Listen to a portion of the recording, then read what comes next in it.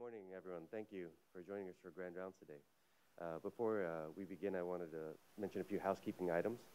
We're going to be broadcasting live via live stream and YouTube, so uh, please use the microphones here when you ask any questions and stand up uh, uh, if and when you do so.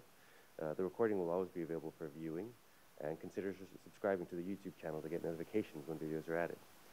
for our viewers, if you'd like to submit a question, please text DeBakey, D-E-B-A-K-E-Y, to 37607. You can also submit uh, via the live stream feed and find the video on livestream.com backslash hmh-edu. We have three more conferences scheduled for 2023 with the multimodality imaging for the clinician conference October 18th through 20th, open aortic training October 26th through 27th, and transcrop, uh, transcranial Doppler imaging and vascular ultrasound masterclass on December 2nd. So today I count it my privilege and uh, count myself fortunate to be able to introduce Dr. Victor Pretorius as our Grand Round speaker today. He's uh, currently the professor of clinical surgery and surgical director of heart transplantation and mechanical circulatory, uh, circulatory support at the University of uh, California in San Diego. He originally hails from South Africa, where he completed his medical school at the University of Pretoria in South Africa, and he became a fellow of the Royal College of Physicians and Surgeons of Canada following uh, his residency at the University of Alberta in Canada. Following a dedicated year of training in pulmonary thromboendarterectomy and right heart failure at UCSD, he became faculty and is currently a professor there. On a personal note, we met him as our team went to learn how to do pulmonary thromboendarterectomies uh, at the institution, and he was one of the most gracious and uh, kind surgeons I've ever met. He was in the operating room where I first saw him, and he's one of those surgeons where immediately you can tell this is a man who can operate. His surgical field was immaculate, clean, and he was open, kind, and, and gracious throughout the entire thing. Uh, he's always pushed the boundaries of what we can do in heart failure and mechanical support. Uh, everything from uh, talking to him about uh, BIVAD, their BIVAD experience, where he had one of the greatest experiences uh, in the nation there. Obviously, in pulmonary throm- thromboendarterectomy, he's, he's constantly uh, referred to as, as one of the, leaders. When we first went to UCSD, their heart transplant program was, was transplanting anywhere from, I believe, like in the teens to the 20s in number of hearts they did per year. They've seen dramatic growth where I believe, the, on, at least on per, per UNOS, the, uh, they transplanted 89 hearts last year. Massive growth with, with continued massive quality, staying at the top of the charts the, the entire time uh, it's something to be proud of, and, and uh, we're honored to have you here to talk to us about how you've helped expand with uh, DCD as well. Please welcome Dr. Victor Pretorius to our institution.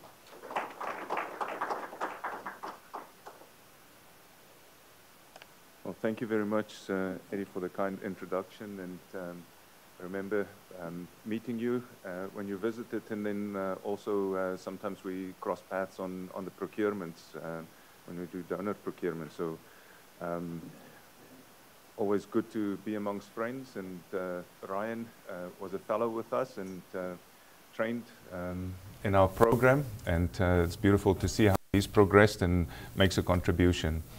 So uh, today we're going to talk about uh, donation after circulatory death, and some people refer as cardiac death.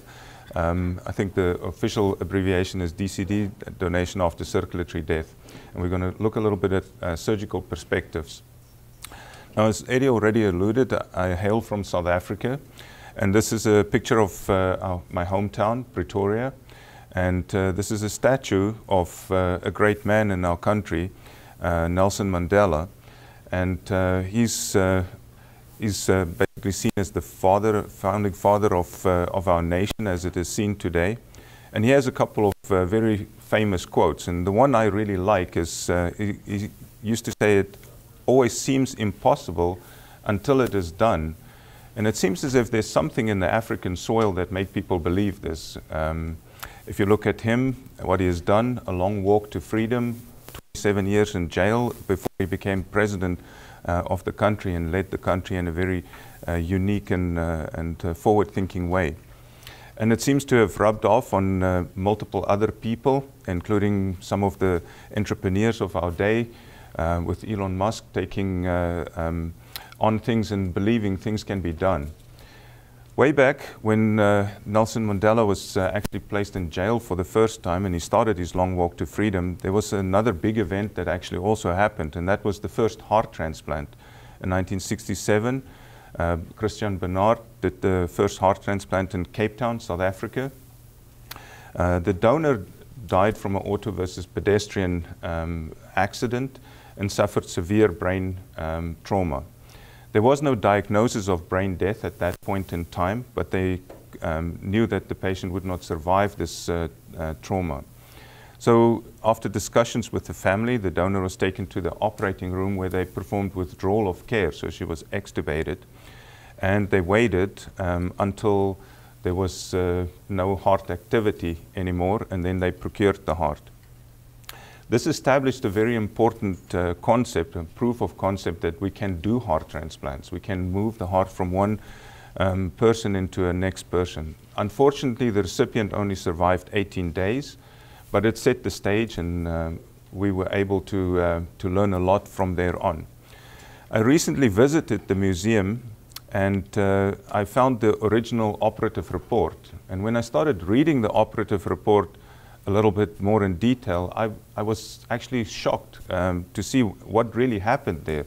You just hear of the first heart transplant, but actually way back then they already um, they waited um, after withdrawal of care until there was no electrical activity, there was no breathing, there was no reflexes for seven minutes, and then they opened the chest and they actually cannulated the heart, the aorta, and the atrium, and they went on to bypass.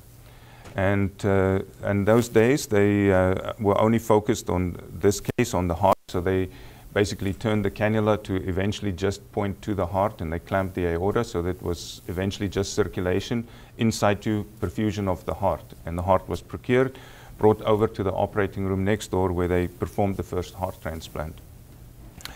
Now, already establishing machine perfusion so early on was uh, very important.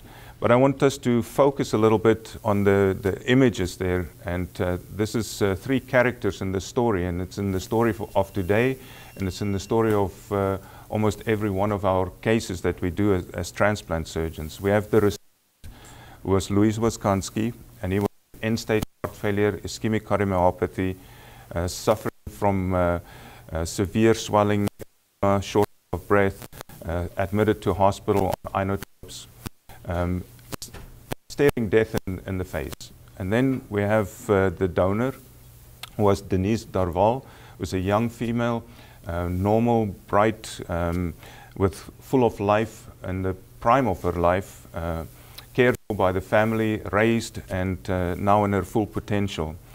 And uh, her life was ending at that point in time with full potential of most of her organs. Uh, there was so much potential locked up in those that, can be extracted, and we still have it every day. A lot of potential that um, we can make something good come from it. Um, and um, I think it's important that we keep these three characters. And then the surgeon was uh, Christiaan Barnard, who uh, was forward thinking, was motivated to, to help, to see if he can relieve the suffering of, uh, of his patient and he, he, used the tools that was available to him and he realized the potential locked up in the donor's uh, organs. But unfortunately, after this first heart transplant, transplant quickly disseminated and by 1971 there was uh, 166 heart transplants already performed. But this Life magazine reported um, that only 23 were still alive. So this is a procedure with an 85% mortality um, in the short term. So that's totally unacceptable and that quenched the enthusiasm for, uh, for heart transplant very significantly. And things slowed down. There were some groups that continued to work on the problems that was uh, evident with, uh, with heart transplant. And um, it was not until um, the late 1970s, early 80s, where uh, cyclosporin A came, uh, came to the forefront and it made a massive change in immunosuppression and grafts were surviving much longer. And this is the first report of cyclosporin A that was used um, for cardiac allograft. Um, was an experiment at Stanford under Dr. Shumway, performed by Dr. Stuart Jamieson. um, who happens to also have grown up in the African soil um, in Rhodesia. And uh, he went on to become the chief of uh, cardiac surgery at UC San Diego, and he was my uh, first chair who, uh, who hired me on, gave me my first job. So I'm e ever grateful to him, um, and also for the work that he has done um, in uh, transplantation. So this established uh, organ transplantation, and it rem has remained the gold standard for end-stage uh, organ failure. Now, if we go a little bit into the history of DCD, donation after circulatory death, who's also, which is also referred to as non-heart beating donors. Um, we know that the first transplant was uh, such, we just saw that.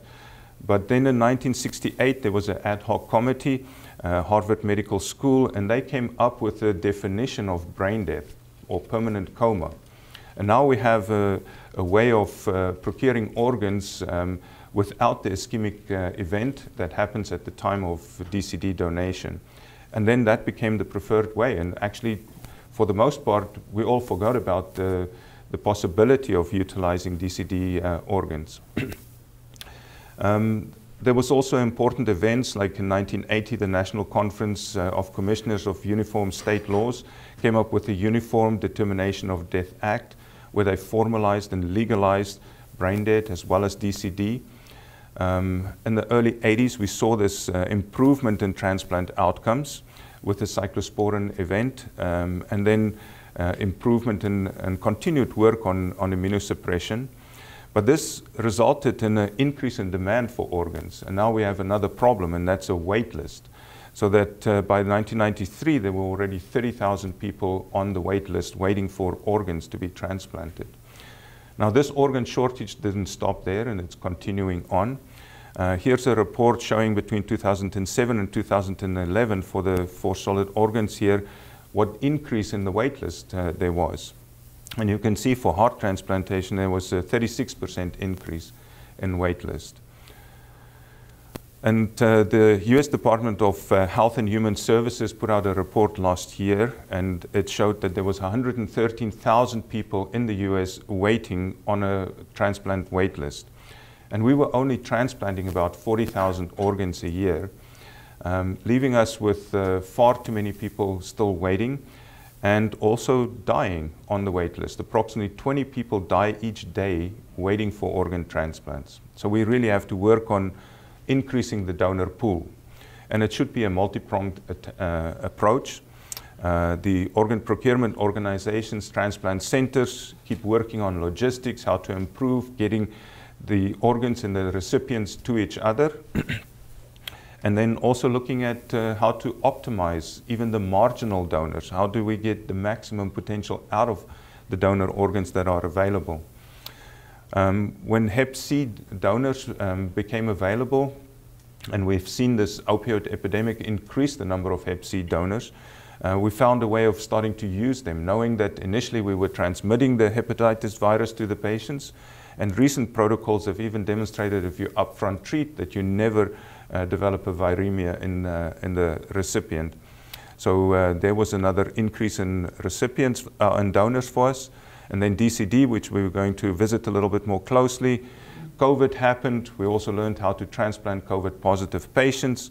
And then in the news recently, we saw xeno heart transplantation and ongoing efforts at xeno other organ transplants, especially kidneys, um, and we see that uh, there's uh, progressive uh, uh survival duration of the xeno um, as well.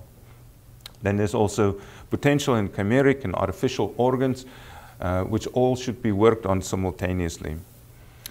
So there's a renewed interest in DCD, despite its complexities. Um, if we look a little bit at the history, we know that in 1992 there was a Pittsburgh Protocol which formalized DCD procurements, basically talked about how to set it up. Um, in 1995 there was a classification that came out, uh, out of Maastricht, and we're going to be focused on the Maastricht Category 3, which is a withdrawal, so it's a planned withdrawal of care. It's a very controlled environment where these patients die versus um, patients arriving in the um, emergency room being resuscitated. Controversies and ethical dilemmas abound, and that's natural and important. We have to go through this process as we had to go through the process of transplantation way back in the uh, uh, late 60s. Terms such as uh, ignorable form of cannibalism has been uh, leveled at DCD uh, donation. Um, but yet, if we inspect closely, the dead donor rule is still being complied to. Uh, the irreversibility, um, as well as um, the intent, request for palliative um, treatment and no further resuscitation has to be kept in mind. There has to be clear separation between the treatment team, the care team for the donor, and the procurement team, and they should not overlap or mingle even with each other at the time so that there cannot be uh, any uh, conflict of interest. The rushed nature and the time sensitive uh, sensitivity of uh, organ uh, damage at the time of DCD due to its obligatory ischemia is uh, something that we need to manage and we need to learn and practice how to handle it and keep it as controlled as possible. The role of autonomy, justice, benefice, beneficence, and uh, non-maleficence uh, need to be adhered to, and in my opinion, that is still the case. In 1997, there was uh, the Institute of Medicine came up with a report which came up with a suggestion of the five-minute standoff period, and that after that period, it uh, is uh, irreversible and that we can proceed. There's unlikely to be auto resuscitation. So um, I want to go a little bit towards normothermic regional perfusion, which is the in situ perfusion of organs. Has it been debated in the literature? Yes, and it's been debated widely. These are reports from Australia, from the UK, from Canada, and also from uh, the United States, all going through the process of, in the public domain, debating this. There are some publications that are against normothermic regional perfusion, such as this one from the American College of Physicians. But then there are also multiple other ones that are for. And I think we need to continue work on this, um, gathering more information, such as um, um, developing uh, proves that there's no uh, reanimation, no perfusion of the brain, for instance. So the question is the donor truly deceased after NRP has uh, been established is, is, a valid question.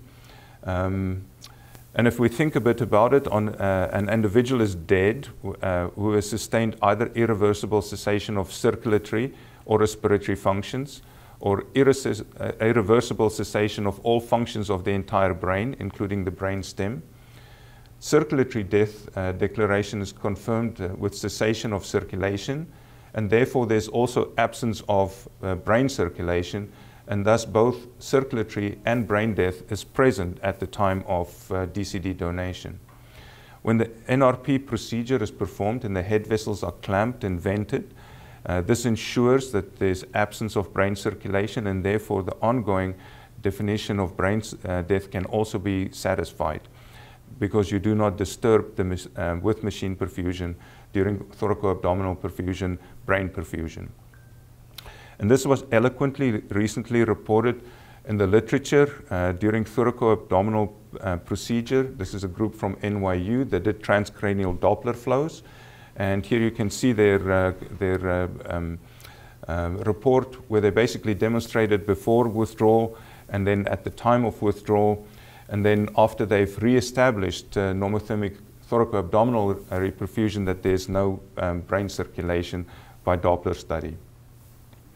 So given all of this, we know that um, the DCD donation is on the rise and people are realizing the potential and there's more and more DCD donors that are being worked up and families are putting forward more and more um, of their loved ones for DCD donation. Brain dead donation is leveled off a little bit, but the, the bulk of the increase in uh, donation comes from DCD. And if we look at a, an, our own region where I'm from is region 5, it's on the west coast, southwest, and you can see there's been gradual increase, but uh, a very clear tick up in 2023 that we've seen um, as there's more and more DCD donation happening. And uh, as we are getting better and better at resuscitating these organs, we perform more and more transplants a very significant uh, rise um, in transplants happening. So we have a clinical problem or maybe an opportunity with uh, DCD. We've already talked about the obligatory and uh, ischemic uh, uh, event that happens, and this is for all organs, not just for the heart. The heart is very visual because you can see when it ceases its function, but the same happens for the, the liver and the kidneys, the bowel, all the other organs. Um, we do know that outcomes are largely similar now. We see it in trials and in, uh, in reports between brain death and DCD. Uh, we do see an increase in utilization of devices such as intra-aortic balloon pump and ECMO post-transplant. Um, so there is room for optimization. Um, and there's also ongoing study needed to determine long-term. We've seen up five-year reports, but not beyond. Um, it's also a unique setting for scientific innovation. And uh, when I look at your institution with uh, the capabilities, uh, I would think that this would be fertile ground for you to, uh, to investigate both in situ and ex situ uh, research on DCD uh, donation. I want to look a little bit at the ischemic model that we know from coronary artery occlusions and coronary artery disease. And these are rat studies that's been well established. We know that if we occlude a coronary artery, uh, for the first 20 minutes, you most probably can just unsnare, open up, and that you will regain function and, uh, and that there would not be very significant injury. But if you go beyond 20 minutes, you start getting the subendocardial ischemia and some of the dysfunctions, typically some of the dysrhythmias. Um, but as time goes by and you crosses over an hour, then you start getting mid-myocardium. And then over three hours, late presentation STEMI, you normally have transmural uh, injury. And, and a, and if you think of this in a regional um, model such as this, now this is just DCD donation on a global. The whole heart is going through this process. But what happens uh, during the regional can be extrapolated and we can learn a lot during DCD. So if you occlude that coronary artery, the first thing you see is that the coronary sinus saturation immediately drops. And this is followed uh, shortly thereafter, within a minute, a decrease in LV contractility. And we find that there's an increase in left ventricular end diastolic pressure, and the LV uh, systolic pressure uh, goes down, and there's some EKG changes. And if the patient was uh, awake, he would have symptoms of chest pain typically. Myocardial perfusion and contraction are therefore coupled. So if you cut off the, the perfusion, you end up losing contraction.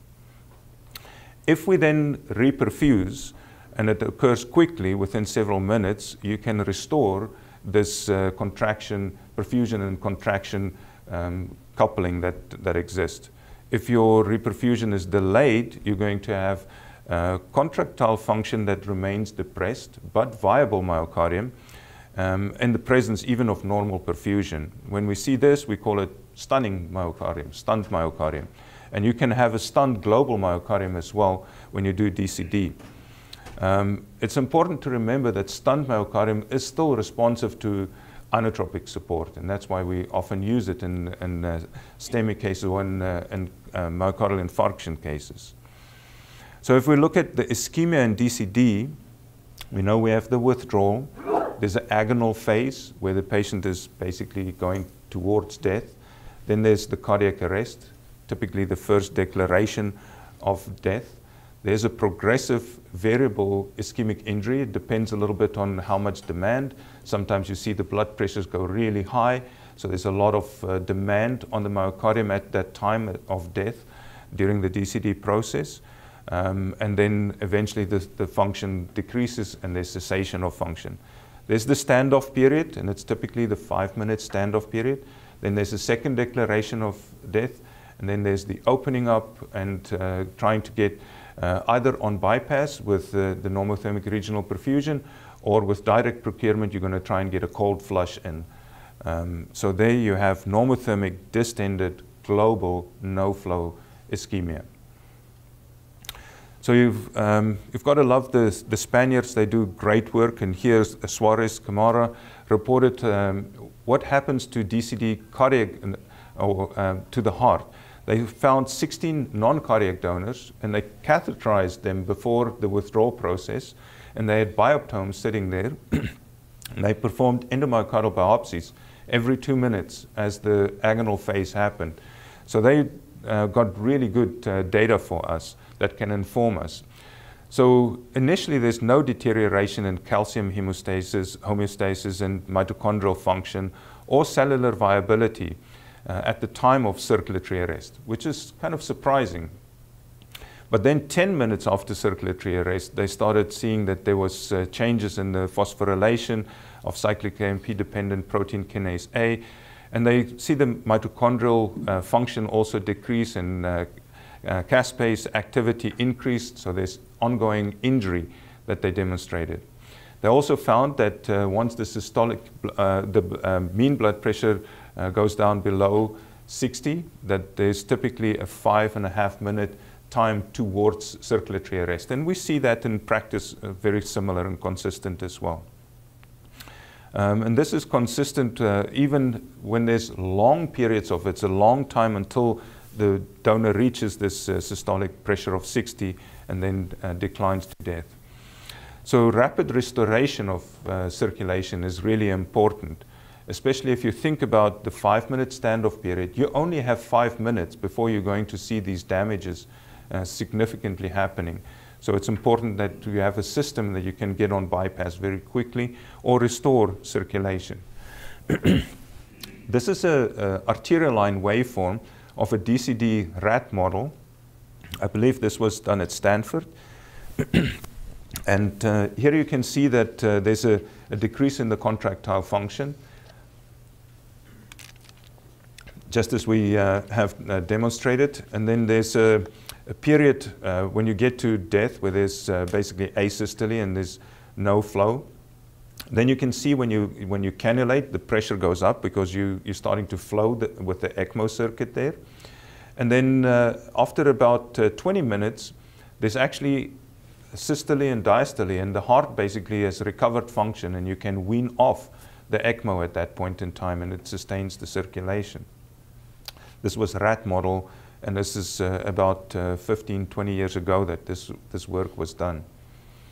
So we have a ischemic uh, preconditioning that we have to consider as well, as maybe DCD might be so good in the sense that uh, if you stress organs, and you do ischemia and reperfusion. Ischemia reperfusion almost primes the organ um, and uh, the tissues to, to tolerate the ischemic event that might follow.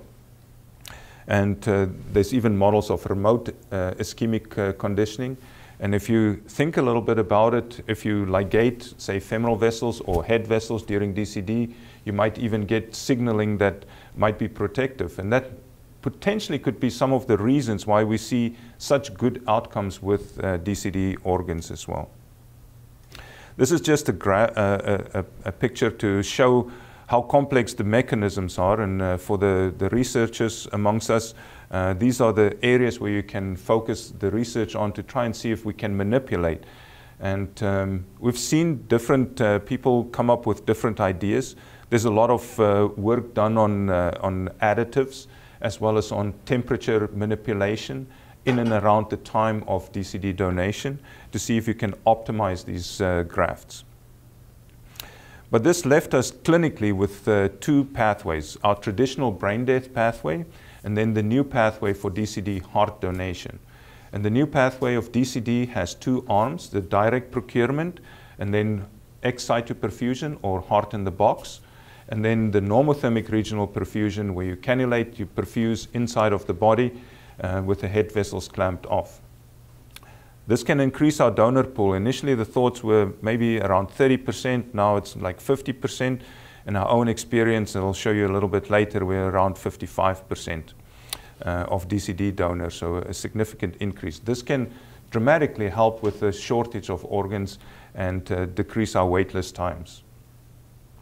So we saw clinically um, the UK, who has been pioneering DCD tra heart transplant, they reported in, 19, in 2017 uh, their outcomes at one year of their DCD donors, and they found it's equivalent to brain dead donor outcomes at one year. They then went on and uh, in 2020 reported on the five-year outcomes, and this is now a bigger cohort and excellent again, no difference between brain dead and DCD donors. They did report their two different techniques because they used both of those techniques, direct procurement and normothermic regional perfusion. And they found that the direct procurement uh, slightly lower uh, survival than the normothermic regional perfusion. This specific report uh, really motivated me to build a team that can uh, perform normothermic regional perfusion. And this was a report um, in 2022, um, just summarizing the worldwide uh, experience. And this was still early days. Like UK had 79, um, Australia had 49. Uh, there was another report from the UK that added 36. The US total um, experience at that time was around 127. Um, there was reports from NYU with eight cases, Vanderbilt with 15. And at that stage, uh, UCSD, we've already performed 74. And we used uh, both of the systems. And you can see that the acceptance rate initially wasn't that high, but it's grown and there's more and more um, grafts that are being accepted. Initially, the, and the early experience is fairly high uh, primary graft dysfunction rate, up as high as 30%. Uh, um, and uh, even 80% reported. But this is gradually decreased, and we see now around 8%, which is not too different uh, than what we've seen in the past with brain dead donors. And the one year survival is excellent. So in the US, um, the resurgence for DCD was driven primarily initially by the Transmedics uh, USA DCD trial. Uh, NYU um, started with an NRP program, and they could do it. This is in New York. They co-located the donors. So it's a very densely populated. They could move the donors. Um, we could not. We were too remote, and we're sitting on a little corner there with the ocean and the Mexican border as our. We, we had to move. We had to go look elsewhere for, uh, for organs. I found that uh, Vanderbilt was in a similar position and they came up with NRP mobile team. We discussed things a little bit and we copied um, a lot of what uh, Vanderbilt was doing. So if we just go over the two techniques, the direct procurement, um, if you look at this, uh, we already talked about the withdrawal, the agonal phase, the opening. Then there's a cold flush with a cardioplegia solution. Then there's a back table, typically in a bucket of ice, where you instrument and get this heart ready for placing onto the machine perfusion. Then you have the OCS cannulation and machine perfusion period. And this is also a time where you can travel and there's some perfusion to the heart. It's a Langendorff model. It's not perfect. There's no kidney, there's no liver, there's no ability for you to do major manipulations other than giving certain medications um, to the heart. And then you have another cold flush um, when you take the heart out and uh, you're going to then start uh, sewing it in. So this is the system. It's uh, very advanced. It's made major um, improvements uh, um, for allowing us to do DCD. Um, it's very smartly um, designed. Uh, they have proprietary techniques and uh, solutions that they use um, to, uh, to uh, do the work uh, to transport these organs, to resuscitate them during the transport. This culminated in a trial that was registered and recently reported in the New England Journal of Medicine. And what we found was uh, that the um, DCD organs performed as well, or maybe even fractionally better, than brain dead control donors. And whether you look at it per protocol or as intention to treat, this uh, non-inferiority was severe, uh, significantly, uh, statistically significantly present. If we look at the utilization, we see in the trial almost 90% of hearts that was placed on the, the OCS system was used. And you can actually see that uh, the, the unfavorable lactate trends was, uh, was the main indicator for turning um, this heart, these hearts down. So you use lactate for metabolic assessment of the heart on the machine to determine whether it's a, a viable and a transplantable organ. Just demonstrating the, um, the, uh, the, the, outcomes uh, at up until two, uh, 24 months or two years and uh, seeing that DCD uh, and, and brain death is equivalent and maybe even DCD slightly better. So we've all seen this uh, already, hearts beating in a box. Uh, this was uh, just stunning a couple of years ago, and now it's routine. It's FDA approved, It's warm, it's oxygenated, there's active resuscitation, there's visual and metabolic assessment, and there's transport capabilities that improve logistics. There's been reports in the literature, and this is a report from uh, the Mass General, um, basically showing how uh, the outcomes are similar. Uh, the wait list has been decreased, uh, the waiting times are shorter, but they have significant uh, graft dysfunction, and specifically in, uh, they demonstrate that at one week they have significant RV dysfunction that's present still in the post-op phase. And this is to be expected. Uh, in an obligatory ischemic uh, uh, event.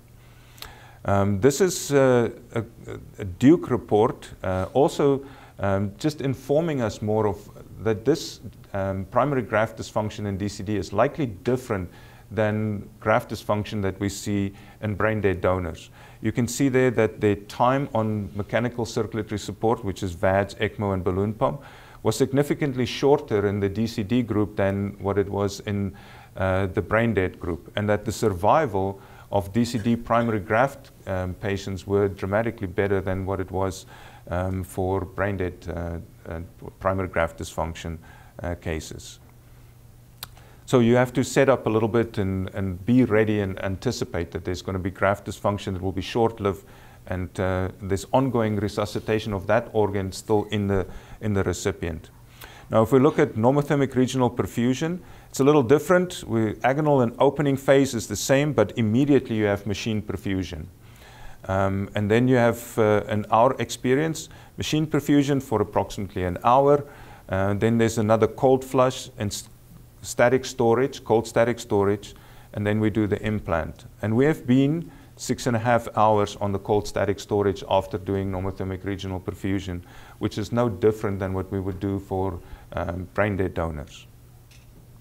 This is the NYU report, and uh, they really set the stage for us in the United States. And in many things of transplantation, this group is, is driving things. They co-located, as I mentioned before. They had excellent outcomes. They had 100% utilization. They had 100% survival. And this uh, report so uh, really established that this is a technique that can be used. And Zachary Kon was a young surgeon at that time, was uh, kind enough to speak to us, and uh, it motivated us. We did uh, feel that his, uh, his approach and like doing it in a study was excellent, but by that time it was not necessary anymore. We just approached our IRB. They looked at it and said, you don't need to do a study on this. This is established practice. Our ethics uh, um, team met and, uh, and they also reviewed it and said uh, they don't see unethical um, practice here and we can proceed with it. So we made a, a, a normothermic regional perfusion pump system uh, that looks like this is an open reservoir um, and, a, and, a, single uh, pump. Um, so a very toned down bypass circuit basically, making it possible to put it in a, in a plane and, and fly somewhere else. This is a, a, short video of normothermic regional perfusion. And um, this is uh, one of my colleagues, uh, Dr. Mark Kearns. Um, and he's working with one of our abdominal surgeons um, who also loves normothermic regional perfusion because it improves their, um, their significantly and they can uh, use many more uh, livers and kidneys. Um, so this is, you can see the technique there, rapid sternotomy. You have to get into the pericardium. You can see the heart there. It's big, it's distended, it's non-beating. Um, you pull down on the aorta so that you can expose the head vessels. Um, I personally like to cannulate the right atrium now first, but in any case here, Dr. Kearns is clamping the head vessels. And uh, once the head vessels are clamped off, we're going to try and cannulate. First thing is the right atrium. We use a large bore cannula so that we can get good drainage. And um, you can see there, very distended heart, dark black blood coming out of the heart. This heart's not been beating for likely now close to 10 minutes. Um, then once we establish the, the connection there, have to connect to the venous line. Typically we have uh, open reservoirs, so drain, uh, just gravity drainage is adequate, but we uh, do have a hard shell that you can put on top and you can add some vacuum if you want to do uh, more drainage even. Um, we're going to snare there to try and keep some hemostasis, um, just putting a snare around the cannula. And now we've uh, got the heart decongested, the liver, the kidneys, they're all feeling better already. The pressure is off. We're going to cannulate the aorta here. This is really important. It's different to a normal cannulation. There's no pressure in this aorta. It's totally flaccid. You have to be careful. You can miscannulate. You can uh, end up in the adventitia. You can cause a dissection. So really important to do it right. There's no pressure, so blood's not going to come out. So you see the assistant squeezing the heart to get some blood into the cannula so that you can de-air the cannula. Then the connection is going to happen. We're going to fill up a little bit there, get air out, connect, and start bypassing. I don't know if anybody put a, a, a, a stopwatch on, but this is two and a half minutes from skin incision and on bypass um, at this point in time. So very quickly that we can uh, establish this, we're going to now secure the cannulas. And uh, if you look, you'll see this is a minute later and the heart's beating. Um, this is uh, like when you see it in real life happening, it, it really is uh, still every time amazing. So what does NRP do to summarize it? It restores flow with oxygenated blood following death due to cardiac arrest. It reverses the warm ischemic injury of uh, um, thoracoabdominal organs during, uh, after circulatory death. And it increased the uh, organ donation by around 30 to 40 percent. It's also very cost effective. It's a really good bang for your buck. And this is what motivated my hospital to keep supporting this. Um, here you can see this is a, a pig model from uh, the Spanish group again, and you can see what the, what the organs look like after 30 minutes of circulatory arrest, and then if you give 30 minutes of perfusion, how well it uh, restores. We see kidney grafts uh, getting uh, uh, excellent outcomes if you look at just direct procurement versus normothermic regional perfusion. And if you focus on the one-year serum creatinine, 1.5 in the normothermic regional perfusion group and 1.8 in the uh, direct procurement group. And the uh, nephrologist tells me this is typically equatable to a two-year additional survival of that graft if you at one year already have that kind of a difference. And we see it for uh, other organs as well. This is uh, the liver, normothermic regional perfusion. Uh, and it uh, looks at uh, survival post-transplant, and you can see there's a significant improvement for normothermic regional perfusion. So they resolve the, the issues with bile duct ischemia and acidosis very quickly with, if you can just restore flow rapidly. We also see that the organ utilization has gone up, both for kidney, liver, uh, and pancreas uh, if you use uh, uh, normothermic regional perfusion. And this is data coming out of the UK, who's been also pioneering uh, abdominal uh, normothermic regional perfusion. Uh, so there's NRP increased kidney and pancreas utilization as well. Um, it's almost equivalent to the utilization of brain dead um, donors. So an excellent modality for improving the quality and the yield of uh, organs uh, from donors. The same here with uh, liver graft utilization and improvement. This is our own experience when we, after we started doing NRP, we, uh, we um, uh, pulled data from uh, all the other uh, centers that was utilizing the livers from those donors. And we actually got really encouraging uh, results back from them, and we recently published this uh, report just showing excellent uh, liver graft survival as well. So this is a, a map that you can pull up in UNOS, and it basically shows which centers are doing DCD heart transplant at this point in time. And then uh, you can see the, uh, the size and the darkness of the dot indicates how, uh, how big a program is and how many they've done.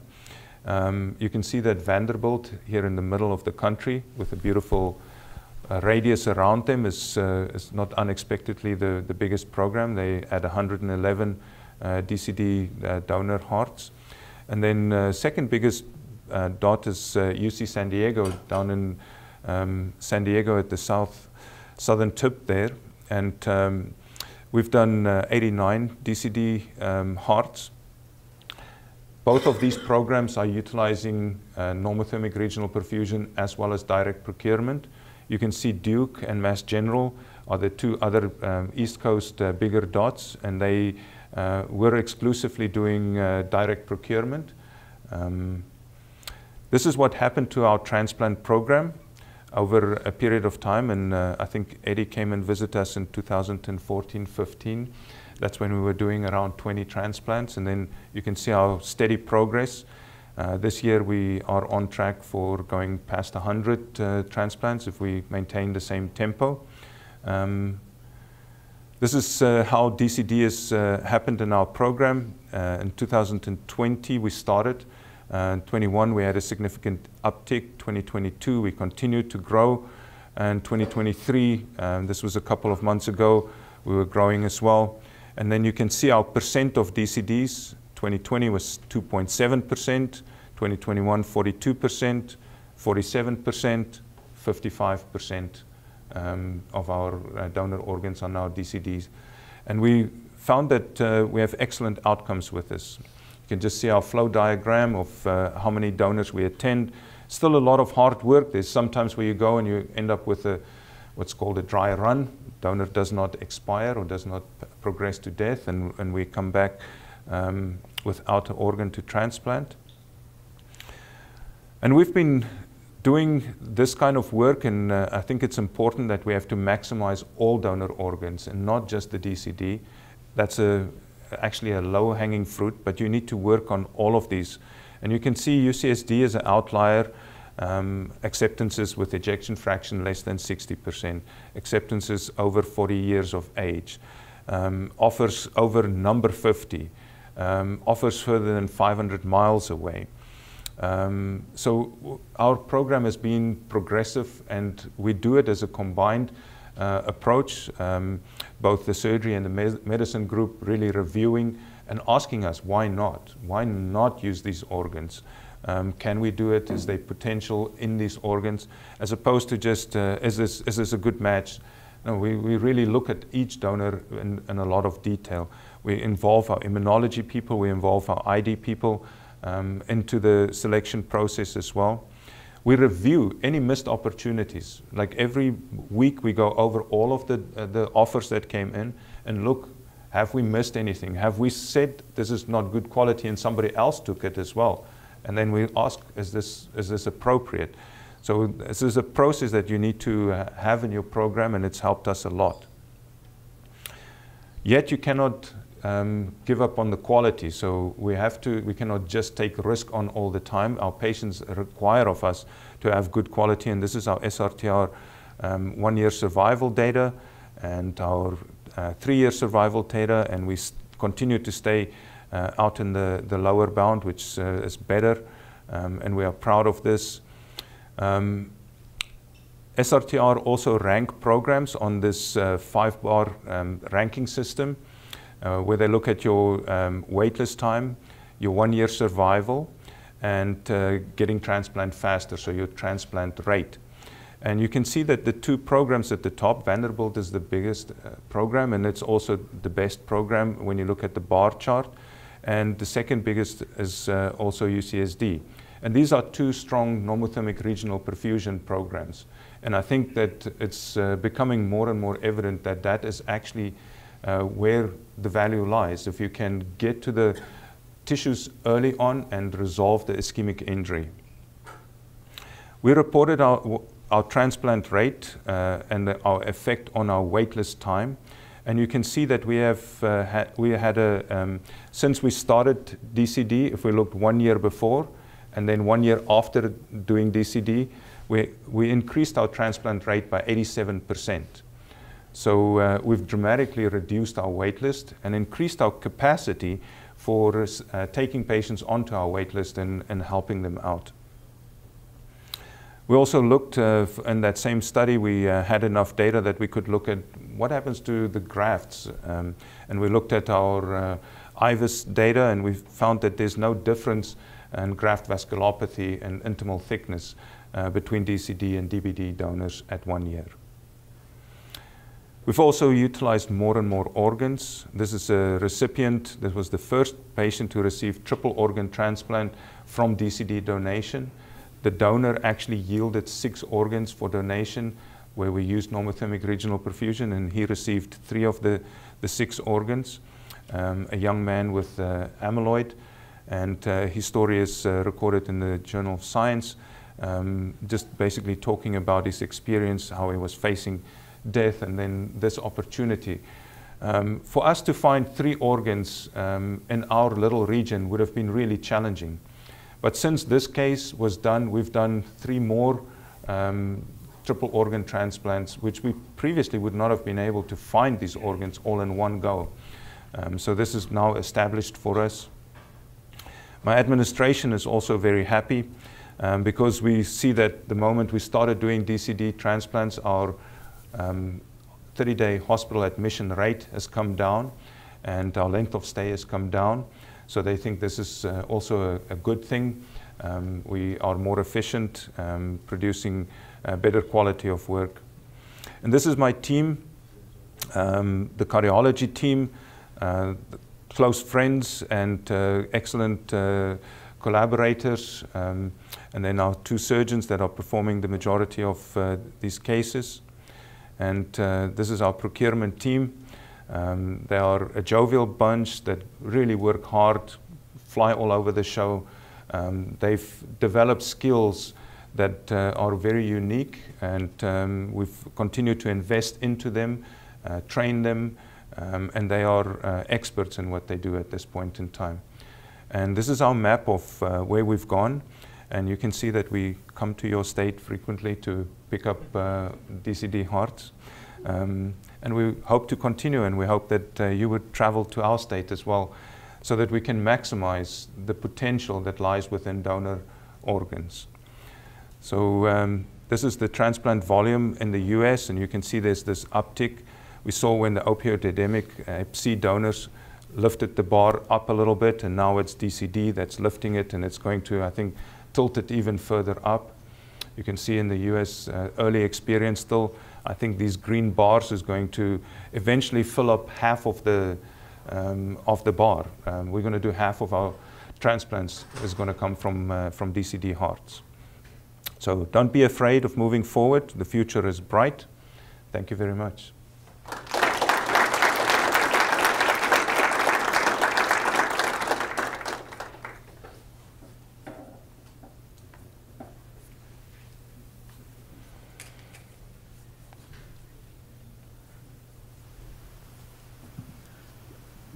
Thank you. That's a whirlwind of inspiration for us, and um, I really want to congratulate you for uh, pushing this for not just your center, but for the nation and the world. And we can imagine the blood and sweat that goes into this. I know when, when you build a program, get to that level.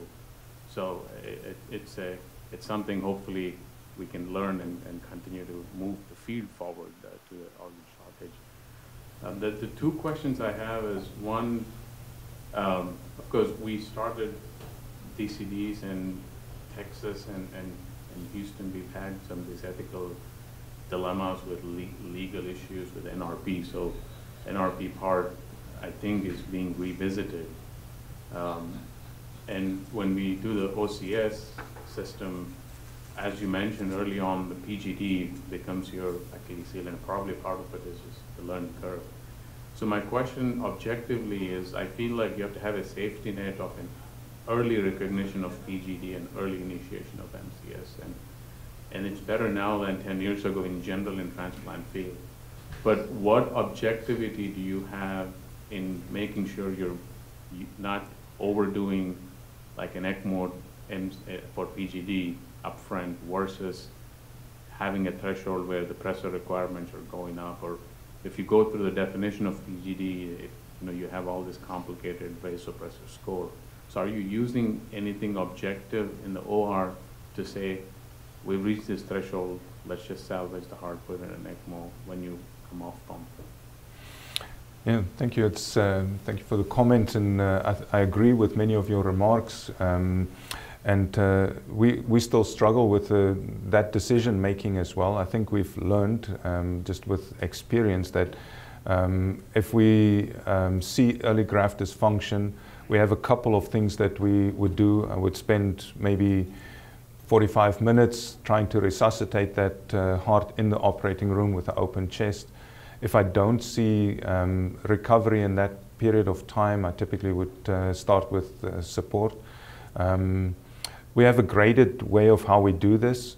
Um, I think one of the things that uh, maybe is a little bit unique, and I need to gather proper science behind this, but um, if I see any graft dysfunction, I start a, a thyroid hormone infusion. Uh, the next is uh, that we would increase inotropes, um, typically add dual inotrope. Then we would put an intra-aortic balloon pump. And uh, if in 45 minutes um, I don't uh, see that the graft is, is uh, starting to recover with that kind of uh, support, we would go on to leaving the cannulas centrally and just stay on ECMO. We switch over to ECMO, reverse the anticoagulation, mop up packing, close the chest, go back to the ICU, carry on typically 24, 48 hours, and then uh, we can come back, open up, wash out, come off bypass. Come, we've been able to come off bypass every time, uh, come off ECMO every time uh, that we've had a, a, DCD PGD case that went on to, that was so severe that we went on to uh, uh, ECMO. Yeah. So one of the other thing is, um, and I talked a little bit with Eddie, like if I have to go with Levophed up to 10, like I, I'm not going to do that because by that time I'm harming the kidney, I'm harming the gut, I might have bowel ischemia, I might have troubles that I don't want. So I just, uh, by that time I'm going to put ECMO on. Well, thank you. Uh, that's, very good for us. My second question is, do you see utility in using SherpaPak after NRP uh, procurement or are you just using the routine uh, is there any different, or are you just doing the old school ice pack Um, yeah. So there might be utility. Uh, I've seen the reports in the literature um, that is encouraging uh, for the SherpaPak. Um, we have to look at value for money, um, and uh, in my own program, I'm trying to spend money on other things. So we have not used the SherpaPak. But that being said, it's very important how you use static cold storage as well. Um, I think there is a point in the SherpaPak makes the point that you cannot freeze the hearts. Um, too cold is bad. So the way we package our, uh, our heart is uh, we do not put any ice close to it actually. We have a little insulation uh, barrier um, between the ice and the, the cold solution that we put the heart in. Um, and uh, that's worked well for us. Um, I, I, it would be nice to, to use it more, but it costs money as well. Yeah. Okay. Thanks, Victor, for coming and for a great lecture. I have a question when you uh, accept for the DCD uh, you know, donors, do you, how do you uh, consider recipient factor? And then specifically, I want a few comment on the adult congenital heart disease patient. I know you're program is growing, and then we are looking to grow a program too. Have you done any uh, DCD on the adult congenital? That's one question. Second is generally as far as how you consider recipient factor as far as mm -hmm. etiology or whatever when you accept the DCD donors. Yeah. Yeah, thank you. Um, uh, that's also been an evolving story for us, Ryan, because in the beginning we, uh, we were concerned and we did not want to uh, um, take higher risk recipients and put uh, DCD in. But then as time went by, we got more confident that these hearts are actually really good. So now for us, it's not a major uh, differentiator, um, whether it's a DCD or a DBD. Um, I think you have to maybe keep it in mind here and there occasionally, like what if you cannot uh, put a balloon pump in? I'm just going to give one example. I have a patient who Dr. Cooley did uh, uh, aorta to um, uh, ascending aorta to descending aorta bypasses for um, somebody with coarctation. And it's like I cannot get a balloon pump into that uh, patient. The, the, the, the, the, way that um, that uh, the aorta is, I, I cannot use a balloon pump. I'm thinking hard about putting a DCD in that one because I know that I might need a balloon pump, but I have to look for that one for even the brain dead donors that I put in. I cannot undersize, I cannot take a risk here. And that's for every donor. You have to really look at all the factors. But at the moment, we do not discriminate and say DCD is, is only for this or we cannot put that. Like we see it as equivalent grafts. Dr. Pretorius, thank you so much. Um, again, I echo Dr. Bhimaraj's thoughts of you know, a lot of inspirational um, fodder for us. My question is a little bit more maybe, eh, you know, perspective-wise. Um, what do you feel like that we can do as a community to help move DCD forward? I feel like some of the recent um, controversies coming up of, as you said, the papers, and honestly, even the most recent UNOS paper, the white paper that, you know, kind of, again, I think underlined the question of the dead donor rule and then said, you know, proceed, but proceed cautiously, which I've asked them, what does that mean? You know, um, but what do you think that we can do as a community to help, you know, um, reduce some of the controversy and maybe have um, public awareness and embracement of the technology that you pointed out that has such an amazing potential? Mm-hmm. Thank you. Yeah, that's a that's a great question. Um, uh, my perspective is that uh, that we have to uh, basically have a multi-pronged approach. It has to come from different angles. I think uh, we have to do high-quality work all the time. You cannot have uh, things go bad on uh, these procurements, um, and we have to make sure that the outcomes are really good, because that eventually drives it. We have to be fiscally responsible, because that is a very important factor for our community, our society. So, and how we manage it on a, on a financial basis is really important as well. We have to acknowledge there are sensitivities and different views and beliefs um, amongst people, and we have to respect that. But we have to, I do agree, move forward cautiously. And cautiously to me means like you have to really put effort and attention to it. Um, and our program, myself and, and the other surgeon, goes on these procurements because we want to make sure this is the highest quality. We've trained people, and I only use that uh, group of people. We debrief after every case, um, go over what happened, what could be done better, so that we can improve the system. Um, so I think uh, society, um, organizations need to come out um, with their uh, support, uh, guidelines, recommendations of how to do this. Um, I think uh, we need to have work groups that continue to work. I think on the research side, uh, we're starting to see more and more data about what happens to the brain. Is there any activity? Is there any flow? Uh, this kind of uh, information we need to continue to extract. We need to continue extract data from these cases as they happen. Uh, so a multi-pronged approach, um, and I think I think that's what is entitled and uh, uh, cautiously move forward from the white paper, uh, which we saw, and, and I think it is for where we are now, it's appropriate how that white paper is worded and structured. Um, but I think we will, over time, as it was with heart transplant, uh, euphoria, down in the dumps, slowly crawling, working, gradually researching our way out of it until where we are now. And we have, like, this is amazing to see people 20 and 30 years after an organ transplant living a vibrant life. And I cannot, like, and I see it in my colleagues. Um, like that emotion, it gives you goosebumps when you see people that was faced with death now see their children grow up and, uh, and live full lives. So it's worthwhile endeavor. I think we need to not just shy back from, oh, this is maybe not uh, so easy to mentally even handle. I welcome anybody to come to the OR to come and see what we do. If, if we ever in your region, I, I'm open to people wanting to come visit. I always, when people have negative comments about it, my first reaction is I want to invite you. Come and look. Come and look for yourself. I can show you videos of what it looks like. Um, if you have any question, is is the patient dead or not? Like, like the policeman on the corner of the street can tell you, yes, he's dead. Um, when the pupils are dilated, when he's white um, in the face, there's no flow. Um, like it's it's just um, I think we need more time for this to uh, percolate through, and we need to do it on a, um, a multi-pronged approach.